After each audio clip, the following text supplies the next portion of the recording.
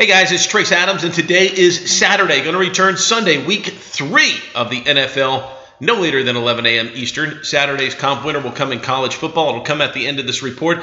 Did it in baseball for you last night. Everybody was loading up on college football, not me. Top rated 1,000 star run line winner on Texas, plus the $1.10 over Oakland, part of a winning night.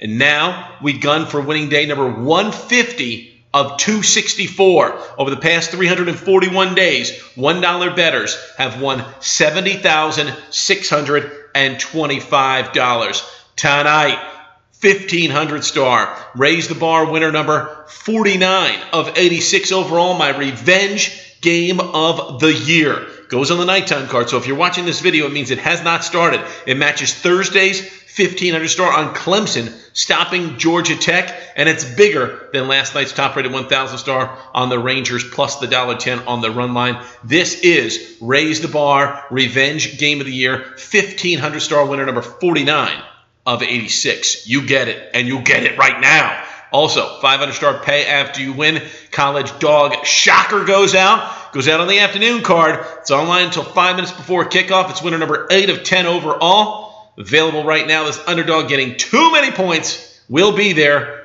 all the way. Must win, must cover, or you will not be charged. That's the way the pay after you win play works. There you have it.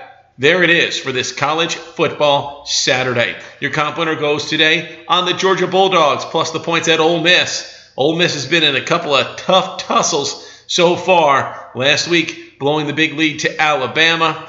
And of course, Ole Miss at home always dangerous. I look for them to put points on the board, but this young freshman, Mr. Eason, getting a little bit better with each start for the Georgia Bulldogs. If Georgia loses, it's not going to be by the full score. Take Georgia plus the points against Ole Miss. Go with UGA.